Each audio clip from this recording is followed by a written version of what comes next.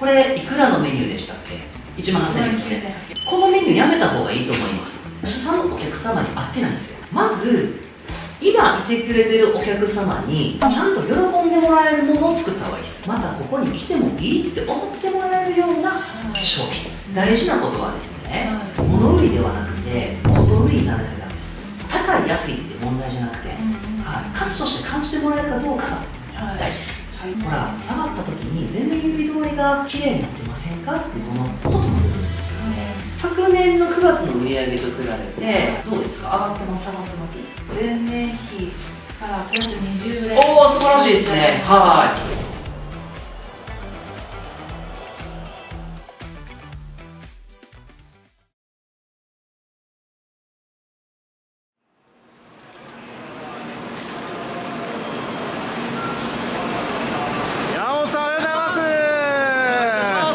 2日目ですね。はい、はい、2ですね。はい。では新大阪から福島まで今日もよろしくお願いします、はい、お願いします。どうぞ。5時間ですね。5時間です。はい行きます。はいいや山本さん着きましたね福島県。はい。ありがとうございます。もうすでに懐かしい感じが今回来てからしますね。なんかちょっと帰ってきたみたいな感じになってしまいますね。ちょっとなんか嬉しさもあり。ありつつはい。ちなみに山本さんあの、まあ、前回から約2か月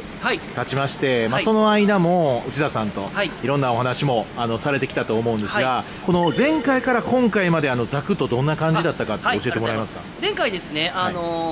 ー、お話しした中でお客様に喜んでももらえるような新しいメニューを作りたい。そこで価値を作っていきたいっていうところで、まあ、改めてそのメニューの商品設計っていうところを前回お話しさせていただいててで、まあ、実はこの今日の収録のね、えっと、前にですねズームをさせていただいてて、まあ、その時にちょっとお話があったのが、まあ、実際その商品作ってやってみたんですけどなかなかうまくいかないと、はい、ちょっとお客様にその提案しても断られてしまったりとか、まあ、ちょっとこうなかなか自分が思ったよりも提案が難しいんですっていうところがあったので、まあ、実際その商品の価格帯とか内容自体が今のお客様ユーザーに合ってないですよねって話を改めてさせていただいてであのもう一回その実際内田さんがまあ、思いだったりとかコンセプトの部分でお客様に喜んでいっていただいてでお客様もあこれやったらまたやりたいと思ってもらえるようなもう一回ちょっと原点に帰ったメニュー設計というところとあとあの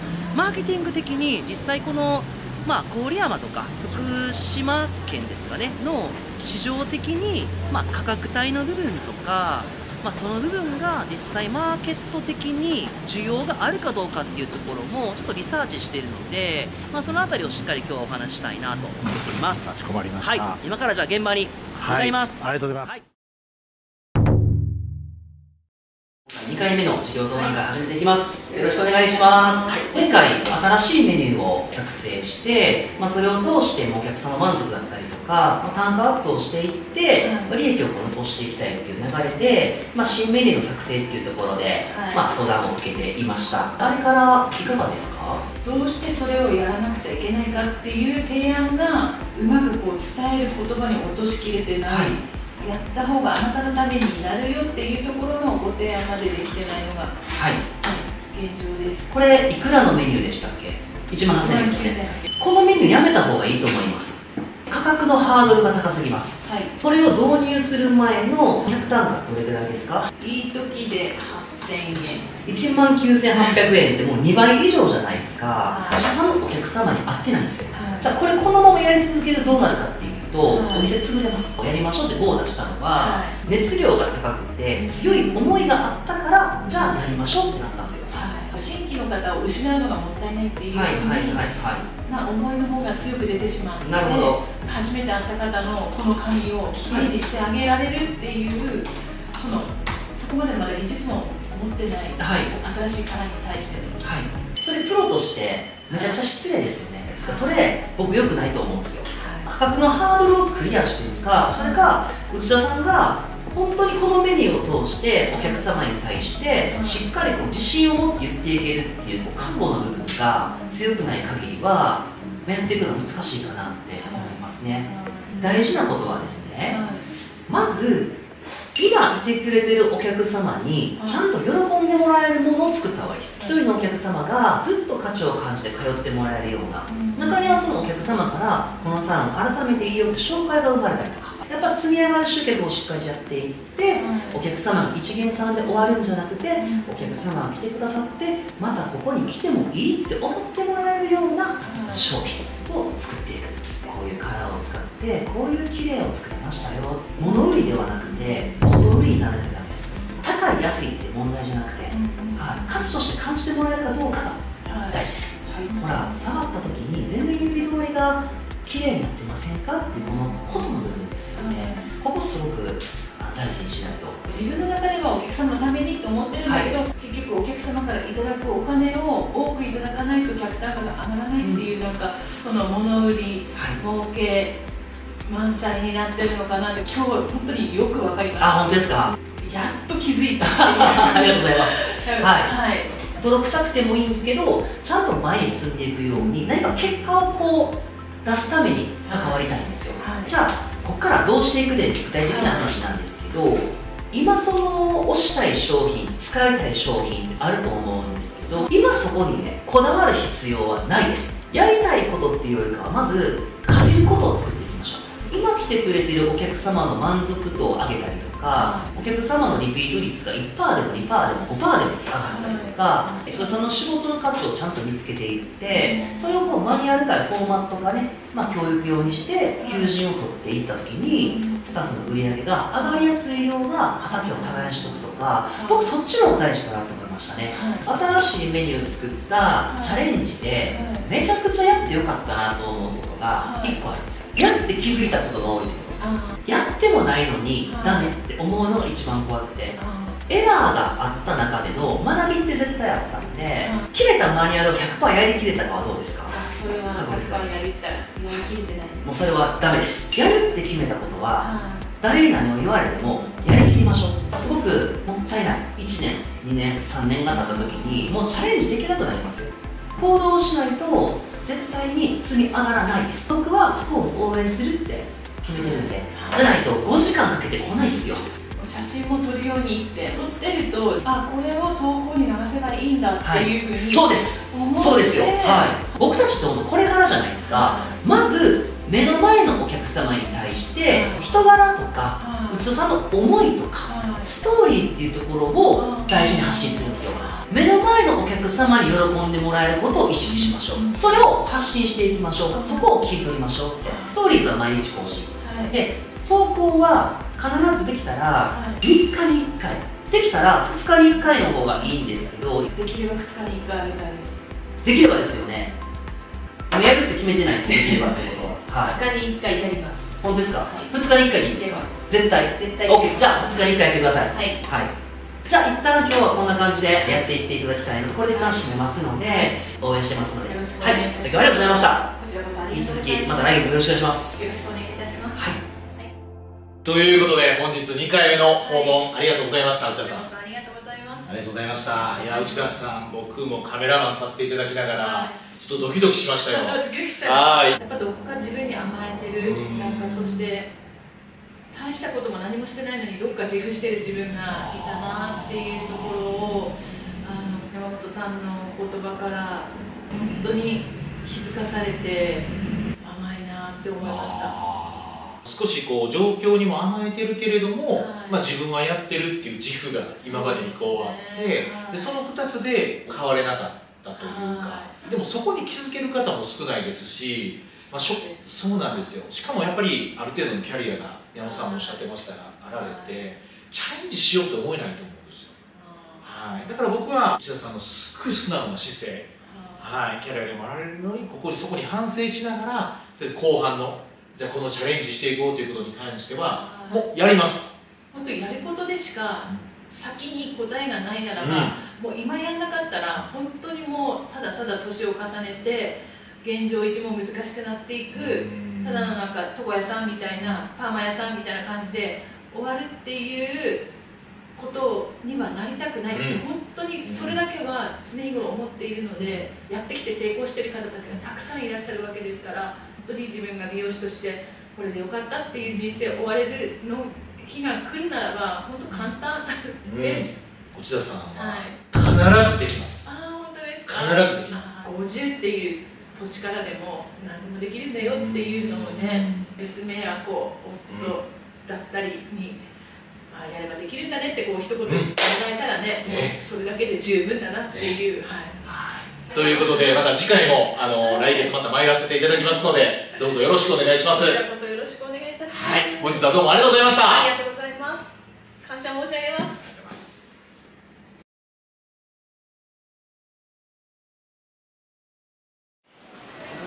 さんおはようございます。よろしくお願いします。最終日よろしくお願いします。寂しい気持ちになってくるぐらいそうですね。思いこもってますのではい。ラストがっつり頑張りたいと思います。はい。よろしくお願いします。ありがとうございます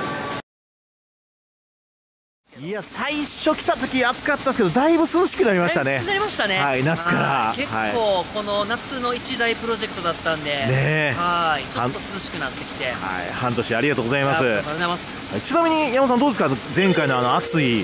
ミーティングから今回までで、はい、はい、えっと、前回させていただいてで、まあ、ちょっと今回ねあの前回からまあ1か月ぐらいでいつもよりは期間短かったんですけど、まあ、宿題としてやっていってくださいって依頼したことに対してしっかりやってくださってるんですよ。はい。まあ、インスタグラムの投稿っていうとこなんですけど決めた取り組みに対してしっかりこうやってくださってるので、まあ、そこが素晴らしいかなとただ次それをちゃんと継続していけるかどうかっていうところも含めてあの今日しっかり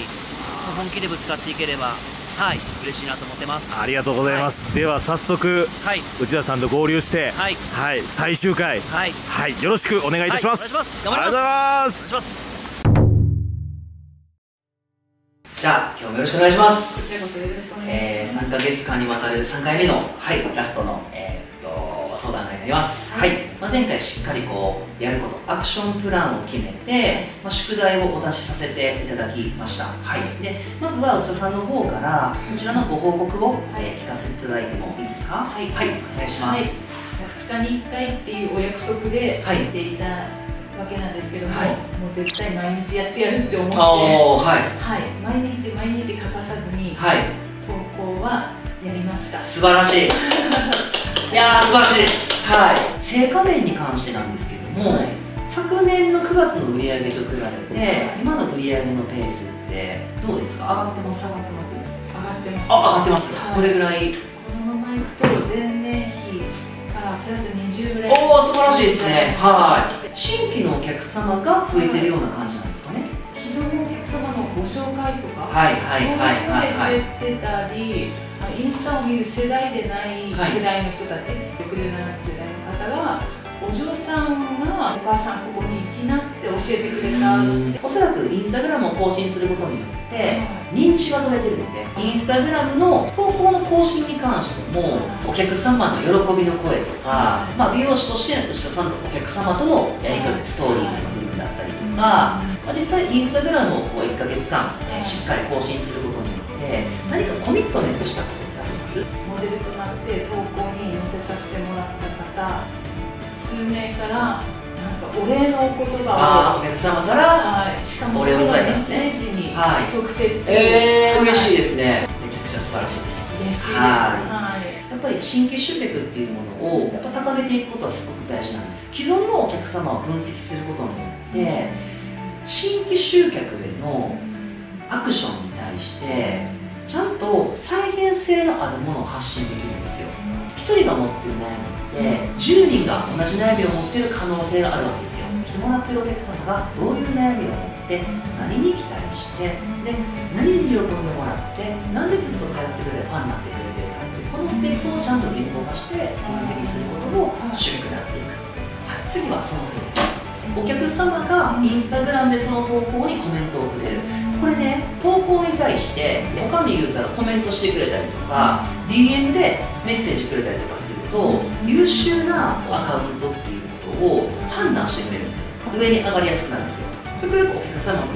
やり取りはインスタグラムの DM を使ってやり取りしてインスタグラム主体の投稿の成績を伸ばすってやり方もマーケサイトをやっています。内田さんに一番共有したいのは初めに言ってくださったみたいなお客様から投稿にコメントしてくれたら嬉しいんですっていうその気持ちをずっと持ってほしいんですよ。ありがとうございますって感じです。嬉しいですよね。でも経営者なんで、はい、やっぱり売り上げを上げたりとか利益を残していくことが絶対大事です、数字は後からついてくるので、はい、それがちゃんと数字に結びつくかどうかっていうのは1人じゃ無理なんでだから僕と一緒にやってるんですよ、まあ、せっかくインスタもね今いい感じに頑張ってくれてるんで毎日の投稿じゃなくてもいいので3日に1回とか2日に1回の投稿でも大丈夫なので、まあ、投稿内容をしっかり継続していくっていうところでほしいのでこの授業相談会で一番伝えたいことっていうのは内田さんがこう今回この企画で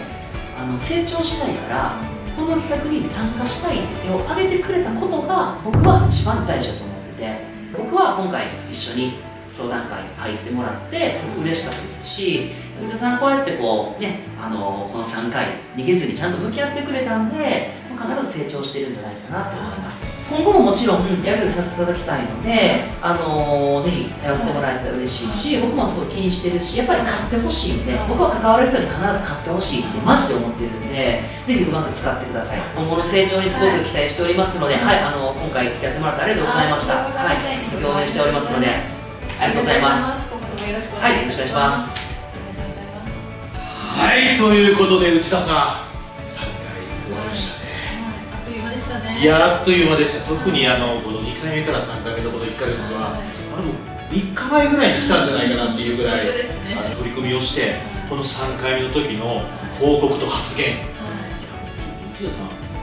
別人になってるんじゃないかなっていうぐらい内田さんの、はい、着ぐるみ着てるんじゃないかなっていうぐらいはいちょっと脱いでいただいた方がいいかもしれないですね。っていうぐらい本当にあの変わられたなとちょっと僕あの撮りながら感動しました。当になんかやっぱり真剣に取り組むことってあの人を変えるんだなって僕個人的には感じたんですけども。自分のできてない部分をきちっとこうダメなんですって言ってくださる方って本当に周りにいなかったので今後自分が経営者っていう部分人を雇用するってなった時ああこういう経営者になんなくちゃいけないんだなって山本さんとお話しさせてもらって本当に思います。こんなに時間と労力をかけて人に向き合ってもらったり向き返したりすることって仕事上ないですよね。はい、でやっぱりこう内田さんが今日終わる時に、やはり私もずっとこれからも一人でずっとやるってことを言うつもりはないんでと、要するに人を雇用してまたやりたいとい。うふうにおっしゃってた時に、きっと内田さんも次来られる方に山本さんが内田さんに向き合ったように内田さんもきっと向き合われるんだろうなと思って。その方が僕ね向き合われて今までにない感情と努力をされる姿が目に浮かびます。はい本当に今回私はの主催者という形でのあの関わりではあるんですが内田さんに出ていただいて本当に感謝してます。ありがとうございます。本当にあの心からあのありがとうございました。いいえこちらこそ本当に伊藤さんにも大変お世話になりましてとんでもないです。今後ともご活躍をお祈りしております。はい頑張ります。はい本日はどうもありがとう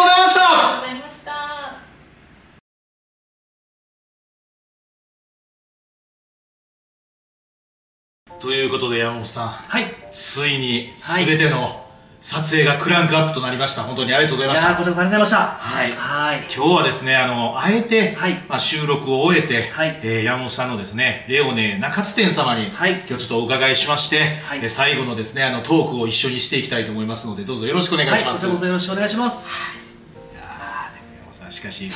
すごい、3回でしたね。いやすごい3回ですね、はい、期間でいうと4か月ぐらいなんですかね。はいおっしゃる通りで。どうでしたかそのそうですね。まああのー、やっぱりこの編集しきれないぐらいめちゃめちゃこう特能な4か月間だったなって。結構その自分もね、あのー、生きてていろんなこう体験させていただいたりとかいろんなこのことをこうチャレンジしていった中でも結構すごいこうあの大きなチャレンジだったなって自分の中でもすごく振り返ったら思いますね。やってすごく良かったなってはい思いますし何よりまあ、内田さん自身もそうですけども自分自身すごい、まあ、成長できたなっていうところとか振り返ってみて、まあ、自分の人生の中でも一つ大きな財産になるようなそんなぐらいたくさんのそのこの企画に至るまでの背景も含めてすごいこう自分の中で一つ人生のあの大きなチャレンジをこう一つ完結したっていうところがあります。はい、あの私もですねあのなぜこんなあの変な言い方ですけどこう無茶な、はい、約半年間かけて 困っているサロンさんを救うっていう、はい、こんな無謀なあのですねあの企画になぜ至ったかと言いますと、はい、山本さんとの出会いが大きいんですね。あのこの企画が浮かんだ時にいややってくれるの山本さんしかおらんやろ。いや本当に。いや本当にいい意味で。あのその期間、はい、あの本気でその労力を使って、はい、一緒に行ってくれる、はい、そして労力だけじゃなくてまあ本当に本業をストップさせてまでやっていただくこの内容に、はい、本当に山本さんいい経験になったって言ってくださるんですけどもあの内田さんとそして受けていただいた山本さんに本当に心から僕はもう感謝しかないですしその本気だったから先ほどご覧いただいたですね内田さんの最終回の応募が言葉になったんじゃないかなっていうふうにあの感じましたね。本当に、はい、正直初めはやっぱり初日の撮影の時とかって楽ではなかった。いやもう特に1回目の山本さんすいません。いやいや僕のスケジュール不足なんですけどいやいやいや1回目の日帰りはもうそうですね。はいすごかったですね。もうあの多分本編見て思うんですけどもちょっともう目腫れてるぐらいの めちゃめちゃめちゃめちゃその、まあ、体力的にねはい。あのー、結構こう正直辛かった部分もあったんですけどでも心からやってよかったなってやっぱすごく思いました。最後はあの内田さんが、まあ、最後の収録終わって、まあ、駅まで送ってくださってたんですけども最後その新幹線乗る前になんかちょっと泣きそうで、ね、本当に。逆にあもう来月はけえへんじゃんみたいな ちょっと寂しいみたいな。そうですね。なんかそういうぐらいあなんか自分の中であの大きなことなやったんだなってすごく思いました、はい、あんなにこの距離を使って熱量も疲れもある中で向き合える人ってなかなかいないと思うんですけども、ありがとうございます。それだけのモチベーションと原動力が一体何なんでしょう？かえっとね2つございまして、はい、まず1つ目っていうのが本気でこの自分の授業を通して関わる人たちをちゃんと幸せとか豊かにするって覚悟を決めてるんですよ、はい、でもちろん僕もあの美容サロン経営者なので自社で関わっているお客様だったりクライアントだったりスタッフっていうのがやっぱ一番大事なんですけど美容室をこう経営していく中でまあ困っている経営者さんだったりとかそこのスタッフさんだったりとかあとはね美容師をこうやりたいけど環境でとこうできなかった子たちって方が僕はいるっていうことをこう聞いた時に自分の人生を振り返った時に誇りと思えるようなことを成し遂げたいなって思ったんですよ。一つ目は僕の信念ですね。はい。今回の企画を通して少しでも内田さんとか見ていて悩んでる経営者様に届いたらいいなって思いで一つさせてもらったっていうところと2つ目は、はい、僕のこの隣に板場さんっていう男が本当自分の魂とか自分の人生の時間とか命を使って本気でトライしてるこの、まあ、企画番組に対して関わらせてもらう以上は一緒にいいものを作らせてくださいっていう思いでさせてもらってます。はい。ありがとうございます。本当にこう悩んでいてでもチャレンジしきれない。どうしていいかわからない誰かに話を聞いてほしい、えー、ぶつかってみたい。ぶつかられてみたいと、えー、思っておられる本気の、えー、方がいらっしゃれば僕ぜひ山本さんに一回話を、えー、してみていただきたいです、はい、でそのこんなにねやっぱりあのこの内田さんと山本さんの姿を通してこんなに本気でぶつかり合って、まあの本気で変わろうとするきっかけができるっていうのをあの悩んでる方こそ一度相談してみて、はい、あの人生のねこういいきっかけになるんじゃないかなしてほしいなって思いますのであのぜひ今回この番組をこうご覧いただいた方でですね相談してみたいっていう方は、えー、弊社のフレンドシップリングフェスの、えー、問い合わせ先でも、えー、山本さんのですね、はい、あの個人の DM でも、えー、構いません、えー、こんなにですねまっすぐで、えー、熱い方、えー、いないですりがとうございます。はい。フランチャイズに加盟してくださるオーナー様も募集しているので、うちに加盟してくれた BOS オーナー様が昨年対比売上190%アップしたりとか、スタッフもすごい増えていったりとか、まあ、14年間1店舗だったのに2店舗目行きましょうっていうところで考える、そうやって未来をすごいこう作れていってる実績がありまして本当にその美容室を経営しててちょっと成長したいとか困ってる方いらっしゃったらぜひ初めお話だけでもいいのであの問い合わせもらったら5年かかること。普通に美容室を経営してて5年かかることを2年で終わらせます。10年かかることをうちは5年で終わらせます。なので一緒に作っていきましょうって形で FC オーナーさん募集してます。ありがとうございます。またぜひインスタグラムとかフォローしてもらったら、はい、板場さんにもお声かけする板場さんに問い合わせしてもらっても大丈夫です。ありがとうございます、はい、お願いします。はい。山本さん的にはこう、はい、内田さんは今後どういうふうにこうなっていたらいただいたら嬉しいなってちょうど内田さんがいない場面なのであそうですね。思われますか、はい、いやあのー、